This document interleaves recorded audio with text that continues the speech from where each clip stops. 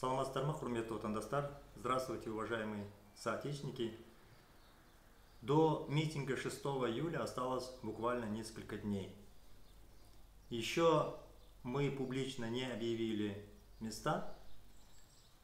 И это в большей степени связано с тем что не по всем городам мы знаем места проведения праздничных мероприятий посвященных 20-летию Астаны. Мы уже озвучивали что именно 6 июля, в местах массового скопления людей, мы призываем наших сторонников выйти на митинги за бесплатное образование. Также у нас была тема, а, посвященная требованию увеличить зарплату полицейским и улучшить их социальные условия. А, буквально неделю назад мы выдвинули новые требования. Это кредитная амнистия. Мы потребовали списать ипотечные займы в соответствии с программой демократического выбора Казахстана. А, в нашей программе звучит следующее, что жилье стоимостью до 30 миллионов тенге оформлено в виде ипотечных займов. Правительство ДВК, когда придет к власти, она спишет такие кредиты. А, чтобы вы знали, что а, рынок такой в размере 1.1 э, триллиона тенге. Это порядка 3 миллиардов долларов, из которых, по нашим оценкам, не более 2 миллиардов долларов составляет именно ипотечные займы до 30 миллионов тенге, а в реальности еще ниже. Поэтому э, эта сумма в масштабах нашей страны незначительная. Второе. Мы выдвинули новые, новые требования именно к митингу к 6 июля чтобы были списаны потребительские кредиты. Я сейчас более подробно остановлюсь, что за потребительские кредиты. Кредиты я единственное озвучу, что рынок порядка 3 а, триллионов тенге, если быть точным, на конец года 2,9 триллиона тенге, это порядка 8,5 миллиардов долларов. То есть фактически весь объем ипотечных займов плюс э, потребительских кредитов грубо составляет порядка около 10 миллиардов долларов. Конечно, для простого человека это звучит цифра как огромная, нереальная сумма. И я в свое время по потребительским кредитам озвучивал следующую позицию, что э, потребительские кредиты э, в целом на, в среднем на человеке э, приблизительно около 500 тысяч тенге. И когда заработает правительство демократического выбора Казахстана, в связи с тем, что существенно вырастет заработная плата, 3-5 раз, где-то даже еще больше, эти кредиты наше население легко погасит. Это была моя позиция, озвученная в конце прошлого года. Но затем я более детально посмотрел а, эти кредиты, размер их, а, и обнаружил с удивлением, что в потребительских кредитах у нас завязано практически все работающее население страны. Около 8,5 миллионов человек. Что такое потребительские кредиты? Обычно потребительские кредиты не требуется целевое их назначение, а люди берут на покупку разной техники, на какие-то ремонты и все прочее, да? ну, грубо говоря, на э, свои домашние дела. Ну, в реальности даже люди брали на проведение свадеб там, и так далее. Но средний размер ее приблизительно составлял на человека составляет около 500 тысяч тенге. Ну, в зависимости от региона, где-то в Алмате э, существенно больше, около свыше миллиона, где-то меньше. Ну, вот в среднем около 500 тысяч тенге. Вот углубившись, я понял, что сумма для всей страны, для каждого человека кажется небольшой, но поражает масштаб вовлечения людей, именно порядка 8,5 миллионов человек. Это реально все работающее население страны. С учетом того, что Назарбаев практически каждый год около 10 миллиардов, реально, только по официальным данным я говорю, там есть другие схемы э, воровства денежных средств из бюджета страны и у национальной компании. Минимум 10 миллиардов долларов уходит в банки Назарбаева и там пропадает бесследно. Я буду каждый раз повторять до тех пор, пока все граждане страны не осознают, масштаб воровства. Каждый раз буду рассказывать о том, что в 2017 году Нурсултан Назарбаев влил в Казком 2,4 триллиона тенге, это 8 миллиардов долларов. А затем этот банк за 2 тенге приобрел Тимур Кулебаев. Я каждый раз это буду говорить, озвучивать, чтобы каждый гражданин нашей страны осознал, что каждый год свыше 10 миллиардов долларов семья Назарбаева ворует из бюджета страны. Каждый год. Тот год, в 2017 году, когда Назарбаев все время с экранов телевизора говорил, что в стране кризис, что даст Бог, как он говорит, в 2020 году станет лучше. Слушайтесь, когда он говорил, что в стране кризис, кризис и говорил, даст Бог, будет в 2020 году лучше, только за 2017 год он в один банк влил 8 миллиардов долларов, украл у страны. При этом, когда в 2017 году демократические выборы Казахстана озвучил свою программу по повышению заработных плат учителям, врачам, всем бюджетным работникам, увеличение пенсий, увеличение размера пособия матерям за каждого ребенка, и были разные социальные программы, в это время правительство говорило, что денег в бюджете нет, и только в один банк было залито 8 миллиардов долларов и украдено. Я хочу, чтобы каждый гражданин нашей страны знал, что денег в стране много. И когда кто-то пытается сказать, что программа демократического выбора Казахстана по списанию потребительских кредитов и ипотечных займов является популистской и настроена на маргинальные так называемые слоны, э, слои, то я вам эту цифру озвучу, чтобы вы знали, что вас обманывают. У нас осталось действительно всего лишь несколько дней. И у наших граждан выбор. Выбор просто терпеть этот режим, жить безысходной жизнью. 8,5 миллионов человек могут прыгать с кредита на кредит, с потребительского кредита от ставки 21 до 35-6% годовых, считать проценты, ужасаться, будут распадаться семьи, будут конфликты, кто-то будет сжигать себя от безысходности – у вас выбор. Выбор 6 июля сказать «нет» всему этому. 6 июля вы можете переломить ход истории, вы можете переломить свою жизнь все изменить.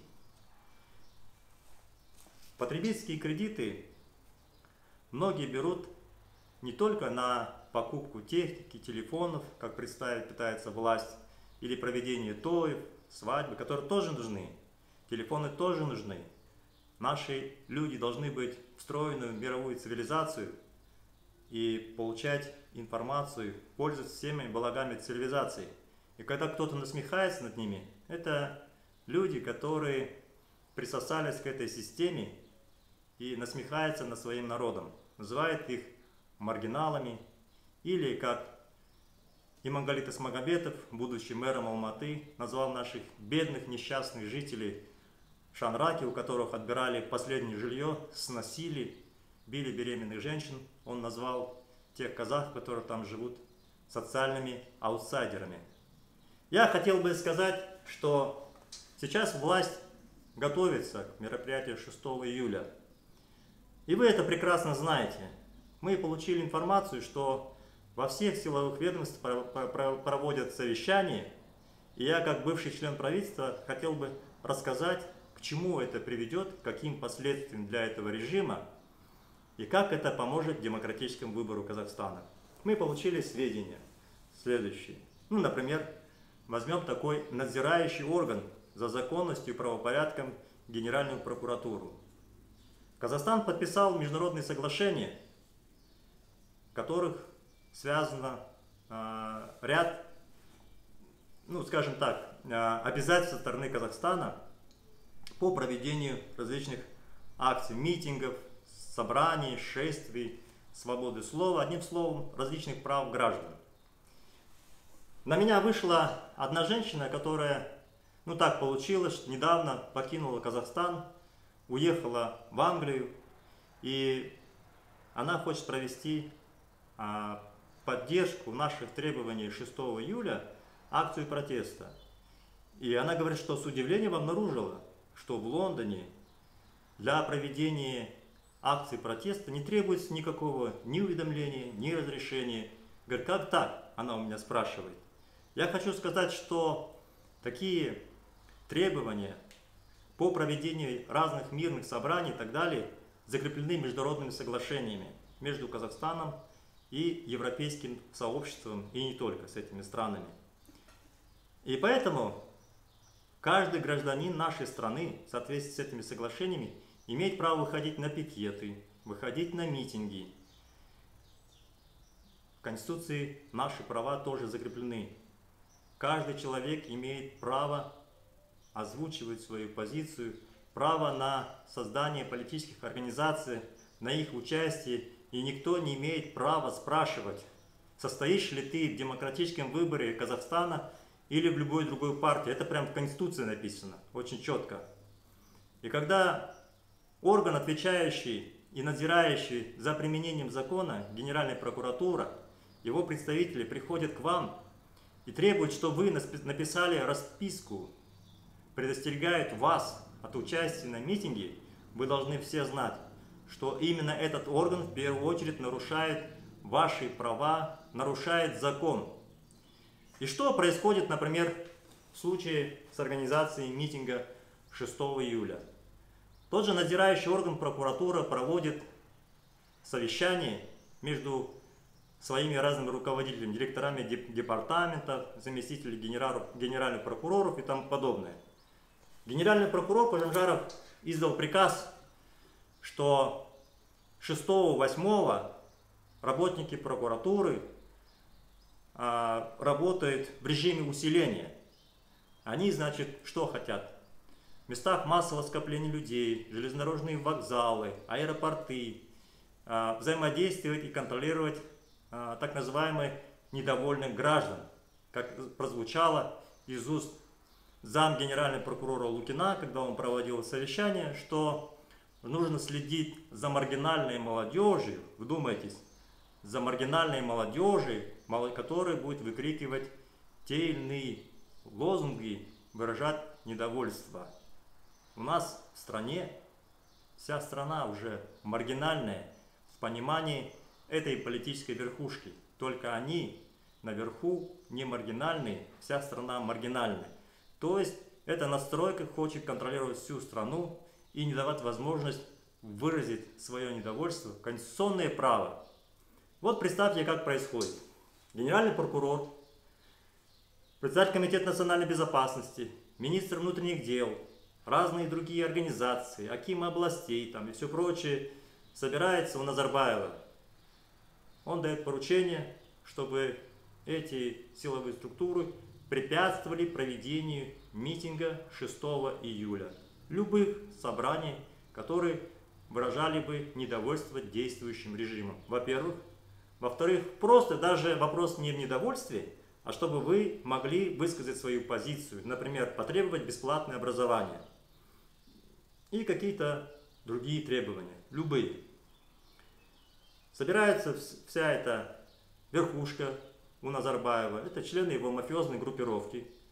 Затем каждый руководитель, например, генеральный прокурор, собирает своих заместителей, дает им поручения. Затем зам генеральный прокурор собирает директоров департамента, дает им поручения. Это все указания идут в области, города, районы. Затем то же самое происходит работа в Комитете национальной безопасности. Потом Министерство внутренних дел – ну, Министерство внутренних дел приблизительно по статистике, официальной статистике работает около 160 тысяч человек. Вот все эти органы получают циркуляры сверху, потом на всех уровнях встречаются, получают указания. Всем своим подразделениям дают указания в районах, там, аулах и так далее. Затем собирают руководители Облано, Горано, Районо, потому что они знают наши требования, связанные с бесплатным образованием.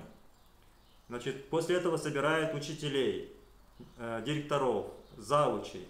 Учителей у нас в стороне около полумиллиона. Затем по, собирает э, преподавателей, ректоров вузов. Миллионов, миллион студентов у нас. Суммарно преподавателей полмиллиона, студентов миллион. Что делает власть? Фактически все те, кто так или иначе, э, скажем, находятся в зоне этого вопроса, а именно бесплатного образования, школы и так далее, они начинают вовлекаться и политизироваться уже самой властью. Власть говорит, что демократический выбор Казахстана – экстремистская организация. И вот представьте, миллион людей, они вовлекаются в этот процесс, и власть начинает методично всем а, давать различные циркуляры, вызывать прокуратуру, все прочее. При этом каждое их действие, нарушение Конституции, нарушение действующего закона Казахстана, нарушение международных соглашений, ваших прав, тех прав, которые закреплены как Конституцией, так и международными договорами.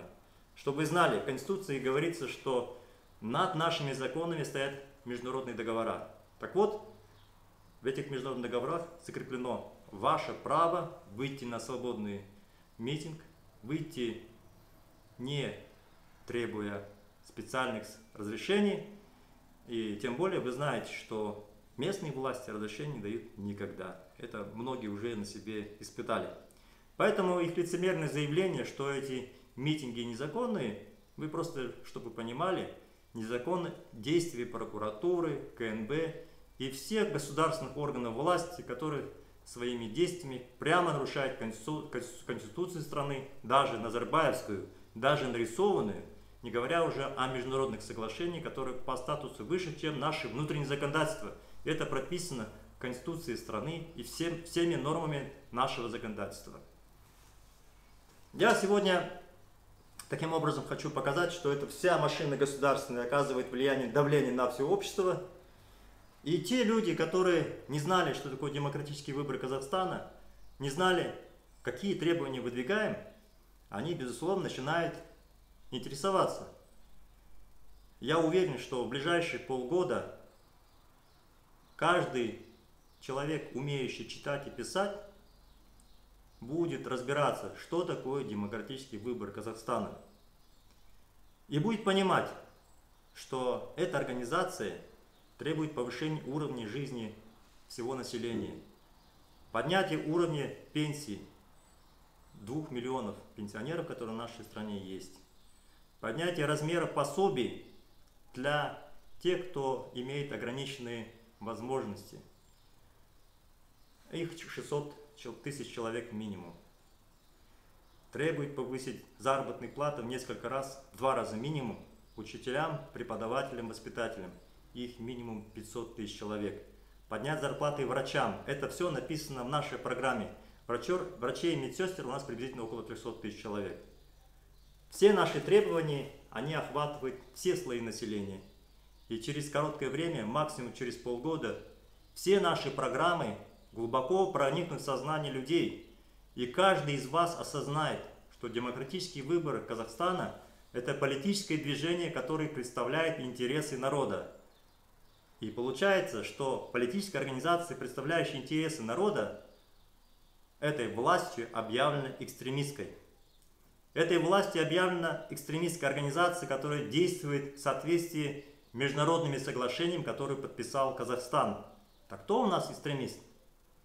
Экстремист – это политическая верхушка, которая всеми путями препятствует, препятствует нормальному развитию страны и хочет, чтобы они оставались у власти вечно, продолжали грабить страну, красть миллиардами и подавляли естественные желания человека к нормальной жизни, к свободе и к справедливости.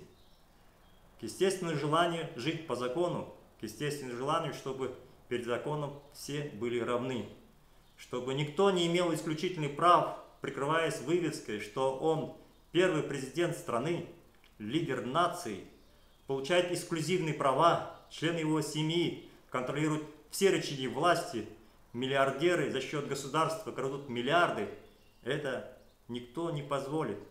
Никто не позволит. Какое-то время Нусултан Назарбаев, пользуясь этой властью, пользуясь тем, что люди не понимали, не знали, морочил голову. Но теперь наступило время перемен. И 6 июля вы можете сказать свое слово «нет». Нет этому режиму. И вы должны знать, что сейчас появилась в стране политическая организация. Политическая организация, которая объединяет людей.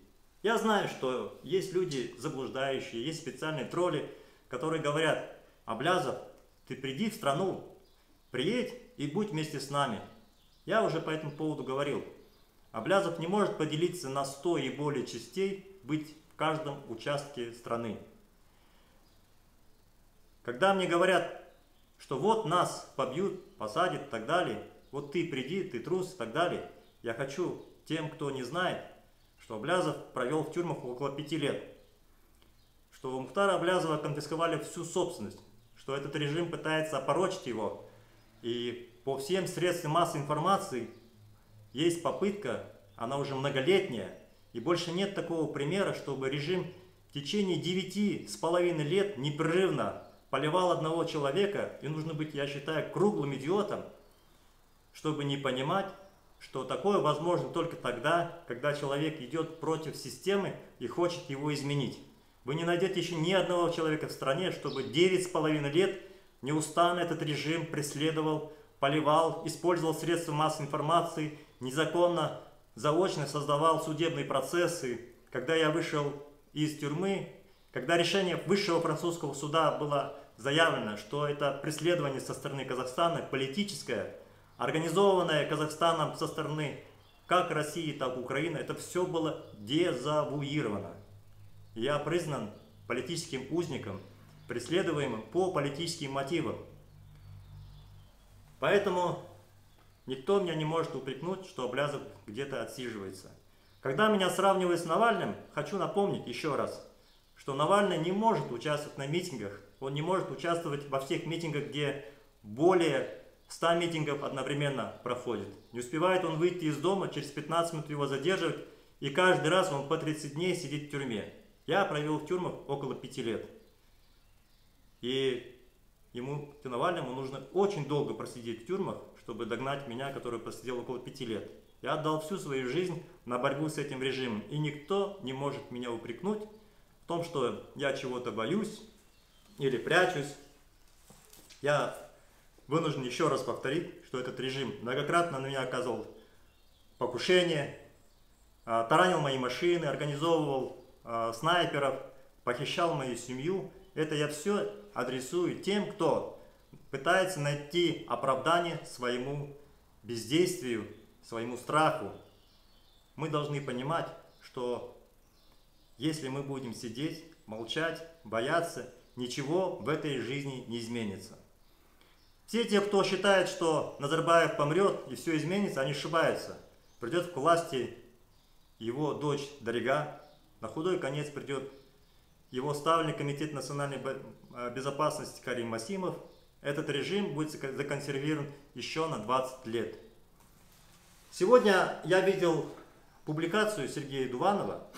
Я обычно ну, не цитирую никого, но здесь просто очень интересный а, пост был а, я хотел бы вот на этом примере, а, скажем, рассказать свою позицию.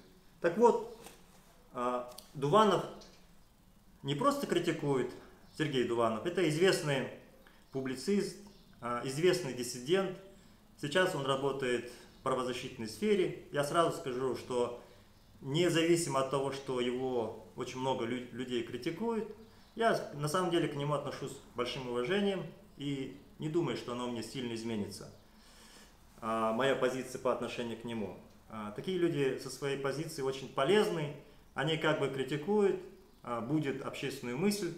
И я сегодня хотел бы ответить в прямом эфире на его публикацию. Так вот, что он говорит, Сергей, что есть три направления.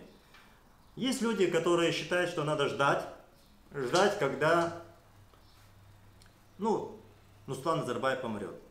Ну и сам по поводу этого иронизирует и говорит, что эти люди ждуны, что ничего не изменится, что такой подход а, приведет к тому, что ну, режим законсервируется еще как минимум лет 15. Второй, а, Сергей Дуванов говорит, что есть так называемые люди, а, которые ориентируются на диалог с властью что нужно еще вести переговоры с властью, договариваться, где-то изнутри с ними работать, и может быть изменится. Это мы все проходили. Я сам когда-то работал в правительстве полтора года, пытаясь изнутри повлиять на Нурсултана Назарбаева. Более того, когда мы в ноябре 2001 года создали движение «Демократические выборы Казахстана», у нас было так называемое мягкое крыло, которое впоследствии организовались в партию Акжол, которых я тогда, скажем, жесткую по ним оценку не давал, но внутри, конечно, я их считал просто политическими предателями, которые раскололи, наше политическое движение. Это привело к тому, что меня и Галамжана Жакьянова посадили в тюрьму на 6 и 7 лет, а эти э, люди, которые пытались найти диалог с властью, отошли в сторону, создали партию Акжол, которая в конечном счете была захвачена Нусултаном Назарбаевым, используя своего э, агента Алихана Байменова, бывший министр социальной защиты и бывший руководитель администрации президента Нусултана Назарбаева. В итоге эта партия Акжол сейчас находится в парламенте. Это как отдел партии Нуратан, предательская партия, многократно захваченная, это те люди, которые пытались идти на сговор с властью, так называемое найти возможность диалога с властью. Этот режим многократно показал, что никакого диалога с властью не будет. Те люди, которые пытались это сделать, был в том числе Алтынбек Сарсимбаев, который искал диалог с властью, он был убит. Диалог с властью были другие, пытались найти и Заманбек Нуркадилов, он был внутри, выходил отдельно, он тоже был убит. Поэтому диалог с властью не будет. В этом смысле э, Сергей Туванов прав. Он про этих людей сказал так. Это как некий предмет, который находится в проруби и там болтается. Те люди, которые пытаются найти диалог с властью, это правильное сравнение. Я поддерживаю Сергея Дуванова. Может кто-то и заблуждаться какое-то время, пытаясь найти диалог с властью. Но уже 2018 год, начале 2000-х годов, я еще мог снисходительно к этому относиться, понимая, что люди должны пройти свой, эволю, свой эволюционный период и осознать, что диалога с этой нынешней властью, а власть, что вы понимали, это один человек, но султан Назарбаев со своими родственниками – больше там никого нет. Все остальные это не власть. Это его инструменты, это исполнители. Когда вы большое значение придаете тем или иным министрам, премьер-министру и так далее, это тени. Это тени Нусултана Назарбаева. И когда они меняются, вы начинаете обсуждать, вы зря тратите время, потому что он сегодня поставит одного, завтра другого. Ничего не изменится, потому что вся власть находится в руках одного человека – и именно Нурсултан Назарбаев назначает депутатов под видом выборов. Именно он назначает премьер-министра и министров, судей, акимов. Все нашей стране назначается одним человеком. И никакой импичмент ему невозможен, потому что Верхняя палата, Сенат, Нижний Мажилис, все находится под его контролем. И когда мы говорим власть, кто-то пальцем показывает на премьер-министра или министров, знаете, эти люди, они находятся в сговоре с властью. Они пытаются таким образом не в ту сторону показать и таким образом ввести заблуждение вас. Власть в руках находится только у одного человека, но султана Назарбаева. И его, эту власть, невозможно реконструировать, пока вся эта система не будет сломлена. Именно поэтому мы говорим, президентской власти в стране не должно быть. Мы должны построить парламентскую республику без должности президента. И именно это является основным платформе, политической платформе демократической выбора Казахстана. И третье, что озвучивает Сергей Дуванов. Он говорит, что Аблязов опирается на маргинальную часть. Я хочу по этому поводу сказать, Сергей, что еще раз повторить свою мысль у нас все общество маргинальное. Ну, представьте себе, что 8,5 миллиона человек имеют потребительский кредит. Все работающее население страны. Все работающее население страны, которое в среднем получает менее 100 тысяч тенге, имеет в среднем потребительские кредиты 500 тысяч тенге. В среднем. Где-то больше миллиона, где-то меньше. Поэтому, когда говорят о маргиналах, Здесь на самом деле надо четко понимать, маргинальным у нас является практически все общество. Да, демократический выбор Казахстана в своей программе опирается на все общество, как бы вы его ни называли, ни власть, ни аналитики, что это маргинальная часть общества. Да, именно на них мы опираемся. Да, именно на, на них всегда опирается любой политик всего мира, на большинство общества, потому что именно в интересах большинства проводятся те или иные реформы. Сергей Дуванов говорит, что в Казахстане нет гражданского общества, что нет организованной политической силы, что дистанционно нельзя управлять. Но извините, возьмите даже пример Навального. Он сидит внутри России, сидит в небольшом офисе, именно через социальные сети организовывает акции протеста всех граждан страны. Вот я также сижу в офисе небольшом и также организовываю протест всех граждан страны. Единственная разница том, что я прошел тюрьмы, то, что у меня конфисковали бизнес, пытали, похищали семью. Единственная разница, что сейчас я не выхожу, не сделаю попытки выходить из офиса и меня не задержат на 30 дней. Но все эти испытания я прошел. Только в этом большая разница. И поэтому я считаю, что у меня просто моральное право любому сказать, что никто меня не может упрекнуть в том, что я избегаю трудностей или призываю людей к каким-то акциям протеста, при этом сам оставаясь в безопасности. Это не так. Я знаю, что те, кто что-то пишет или аналитические статьи или что-то говорит, прекрасно осознает, что я нахожусь в зоне повышенного риска, что этот режим для того, чтобы свои, спасти свои миллиарды капиталов, не остановится ни перед чем. Это только вопрос времени. Кто раньше успеет, или мне удастся организовать наш народ и добиться смены режима, или они практически сумеют добиться успеха и ликвидировать меня. Вот вопрос только в этом стоит. Теперь, когда Сергей Дуванов говорит, что у нас общество другое, отличается от Грузии, Армении, Украины, что вот именно там гражданское общество, а у нас она не очень, и что это может привести только к хаосу, потому что нет организованной политической силы, я хотел бы возразить. Первое. Политическая сила есть. Сейчас такая к сожалению, единственная, я еще раз хочу сказать, к сожалению, единственная политическая сила – демократический выбор Казахстана. Таких сил должно быть много, но их не будет.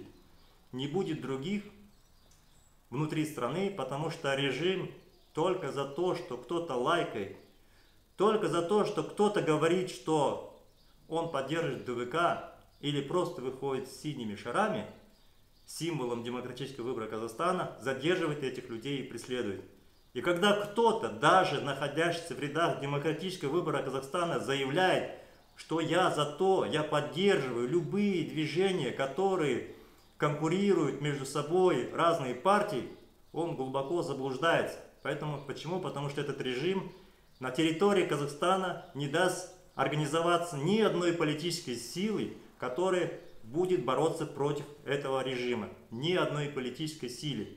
И ни у кого не должно быть иллюзий. Вы должны знать, как только внутри страны появляются публичные лица, которые заявляют, что создали партию, политическое движение, и целью его является построение новой демократической страны, вы за ними можете понаблюдать, если они в течение одной недели не подвергаются давлению со стороны власти, знайте – это подставные люди режима, это подставные структуры режима.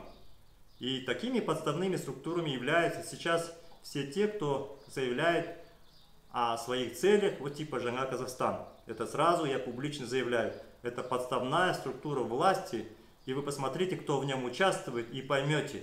Там участвуют представители разных спецслужб, типа Комитет национальной безопасности Альнур Мусаев, который заявляет о своей поддержке этого движения. И другие, вы посмотрите персонали и увидите, они, каждый из них были с этой властью связаны и связаны сейчас. Поэтому, к сожалению, единственная политическая сила, демократический выбор Казахстана, он сейчас есть, и он организовывает людей. Теперь я хотел бы сказать, дальше развить ответ свой Сергею Дуванову. Дело в том, что Сергей Дуванов, наверное, хороший, безусловно, аналитик, но он преувеличивает, когда говорит, что вот в Армении, в Грузии гражданское общество было развито, в Украине, например, что вот в Казахстане не так. Он заблуждается, более того, я просто скажу вам как практик, который много раз посещал Армению, Грузию, Украину, в этих странах имел бизнес, лично знал президентов каждой этой страны, примеров, правительства, крупный бизнес. Я вам просто говорю как практик, который много лет занимался бизнесом и видел, как там все происходит. Я могу только согласиться, что украинское общество более развито, чем казахстанское. С этим я соглашусь. Но, скажем, Грузия, Армения, я не соглашусь. А, у нас просто страна более богатая и, скажем, население в этой связи, а, скажем, какая-то часть более терпима, они готовы терпеть, чем эти страны. А с точки зрения образованности, организованности, осознания, уровень Казахстана не меньше, чем в Армении или Грузии. Там, где я много лет работал, знал лично этого президента Сарксяна, хорошо знал Саакашвили. Я приезжал в 2005, 2006, 2009, 2008 годах, когда Грузия на моих глазах менялась, менялась, при этом страна, у меня было такое ощущение, что она не поменяется, потому что я ну, видел, где, в каких регионах были войны. У меня было такое ощущение, что над Грузией прошла тяжелая война, что была бомбардировка. И в течение трех лет эта страна действительно стремительно изменилась. Стремительно изменилась, потому что она была бедная, потому что удачно пришли к власти представители либеральных направлений, либеральных целей во главе Саакашвили, целая плеяда. И у нас таких людей много, они были раньше, чем в Грузии. Они у нас были в начале 90-х годов. По разным обстоятельствам эти люди не пришли во власть в полной мере, не смогли именно сформировать тот курс, который сумел провести Михаил Саакашвили в Грузии. Поэтому я с этим не соглашусь, но смотрите, что получается. Э, первый вариант – это ждуны. Дуванов говорит, нам такое не нужно. Второй диалог с властью не работает. Третий Протест тоже рискованный, потому что у нас нет гражданского общества. Получается, все три варианта не годятся. И Дуанов говорит, что нужно работать через социальные сети, это каким-то образом влияет на власть. И на самом деле это направление все равно у него перекликается с ожиданием, что нужно через социальные воздействия воздействовать сети на власть, все может быть поменяется, то есть как бы некое ожидание. В этой связи я хотел бы сказать, что Европа вся был, пережила период авторитарного правления, когда были монархии, императоры и все прочее, но здесь в Европе все поменялось. Все поменялось, все изменилось. Почему? Потому что люди с этим боролись. Тогда не было социальных сетей, не было Фейсбука. Люди начали бороться со своими режимами и везде победили. И у нас будет то же самое – независимо от того, есть у нас социальные сети или их нет. Я считаю, что когда Сергей Дуванов приводит три примера и говорит, что везде все плохо, это напоминает известную сказку с Ильей Муромцем, когда он подходит к развилке, пойдешь налево, в лоб получишь, пойдешь направо, в лоб получишь, пойдешь прямо, тоже в лоб получишь. Стоит Илья Муромец и думает, что же делать? а сверху ему голос говорит, иди быстрее, а то сейчас немедленно в лоб получишь. То есть это как бы безысходность, которую нарисовал нам Сергей Дуванов. И предложение работы в социальных сетях, это недостаточно, это тоже из серии ждунов. Я вам предлагаю прекратить ждать, я вам предлагаю действовать. Действовать в том числе через социальные сети, для того, чтобы набирать наших сторонников, влиять 6 июля мы будем проводить митинги по всей стране. Я хотел бы э, озвучить, озвучить собственно, сам принцип и подход. Дело в том, что власти обычно всегда озвучивают заранее местоположение проведения вот таких мероприятий, время и так далее. Мы, к сожалению, понимаем, что сейчас власть понимая, что 6 июля мы будем проводить массовые митинги по всей стране, они не объявляют местоположение, не объявляют время. В этой связи мы озвучиваем точно местоположение, которое нам известно, а также, собственно, сам принцип, куда нужно идти, чтобы участвовать в митинге 6 июля. Так вот, э, в Астане мы знаем, что это левый берег, около Мега Силквей, это в сторону Экспо Шар-сфера. В этом месте сейчас в Астане собирает сцену. В Алматы это традиционная Старая площадь. Старая площадь Астана сейчас называется. Там каждый год проводят разные гуляния, концерты. А в Шимкенте это мы получили сведения, это на площади Аль-Фараби. В Козларде концерт в парке президента. В Уральске концерт на Новой площади будет в 21.00. А Тимиртау у историко-культурного центра первого президента. В Ахтубе возле областного кемата и парка имени первого президента. В остальных регионах э, будем собираться в местах массовых скоплений, где традиционно проводят разные городские праздники. Мы провели вчера голосование и обозначили время. Наши сторонники предложили большинством голосов время в 20.00. В 20.00 уже жара спадает, в 20.00 светло, солнца много. В 20.00 мы имеем возможность снимать на телефоны и делать репортажи. В 20.00 по всей стране наши сторонники появляются в этих парках или местах массового скопления людей.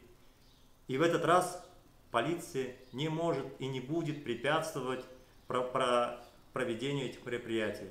Мы ровно 20.00, наши активисты начинают активно действовать, озвучивать наши лозунги, одевать на руки голубые перчатки, поднимать в знак солидарности, когда наши активисты будут озвучивать, кто за бесплатное образование, наши сторонники в синих перчатках будут поднимать руки и озвучивать. И наши лозунги уже распространены. Я хотел бы обратиться к тем, у кого есть потребительские кредиты и ипотечные займы. Вас минимум 8,5 миллионов человек. Вы не измените свою жизнь. Вы будете получать заработную плату около 100 тысяч тенге. Вы не измените свою жизнь, не сможете списать свои кредиты, если вы не начнете активно действовать. Я призываю вас 6 июля прийти на митинг ДВК и присоединиться к нам и озвучить свои требования. Не нужно бояться полиции, потому что полиция это тоже часть нашего народа. Да, они сейчас получили установку влиять, мешать и так далее. Но чему мешать? Мешать, чтобы ваша жизнь улучшилась. Как вы измените свою жизнь? Я привел три примера, когда ждать не получается, когда изменить власть изнутри, а ждать перемен не получается, когда просто сидеть в социальных сетях, когда говорит, как предлагает Дуванов – это можно сто лет сидеть в социальных сетях. Единственный выход, как это сделал весь мир, не имея ни Фейсбука, ничего, это активно действовать. Активно действовать не малым числом, не выжидать, а именно миллионами, сотнями тысяч. И пример Армении показывает, что в этом случае все поменяется. Не нужно ждать так называемого созревания гражданского общества. Вы есть гражданское общество – у вас сейчас проблемы. Вы, если имеете телефон, можете сейчас посмотреть, как живут балтийские страны, которые вместе с нами отделились от Советского Союза в 1991 году. Вы можете посмотреть, как живут в Польше и Чехии. Наши программы, они реальные. Мы, как первые шаги, как ориентир, берем эти страны, не какие-то фантастические страны, которые ведущие в мире. Первая десятка. Мы говорим, средние европейские страны, притом те страны, которые вчера были вместе с нами в Советском Союзе. Это абсолютно реально. Это абсолютно реально. И реально то, что если вы будете сидеть дома, всего бояться, вы никогда не измените свою жизнь. Вы так и будете действительно теми самыми маргиналами, которые Имагалит Асмагомедов назвал казахов, социальными аутсайдерами. Будете сидеть и ждать. Мы должны стать сильной нацией. Для того, чтобы стать сильной нацией, изменить свою жизнь, вы должны сделать первый шаг, прийти на митинг, потребовать объединиться и вы увидите, как мы очень быстро все поменяем.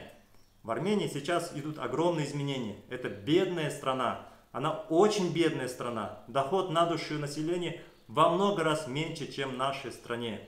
Там идут сильные реформы. Там идет борьба с коррупцией. Даже в этой бедной стране политическая верхушка умудрялась воровать у своего народа даже гуманитарную помощь. Вы понимаете? В нашей стране десятки миллиардов долларов свободные, десятки миллиардов долларов генерят наши производства, наши нефтегазовые предприятия, наши горнодобывающие отрасль. Нам только нужно сменить этот режим, перераспределить доходы. Мы не будем ждать пресловутого коммунизма. У нас завтра изменится все, завтра немедленно. Приходите на митинг 6 июля и требуйте свои права, и ваша жизнь изменится немедленно. Я заканчиваю на этом свой эфир и призываю вас еще раз 6 июля все на митинг, организованный демократическим выбором Казахстана в 20.00 в местах массового скопления народа по всем городам и населенным пунктам страны.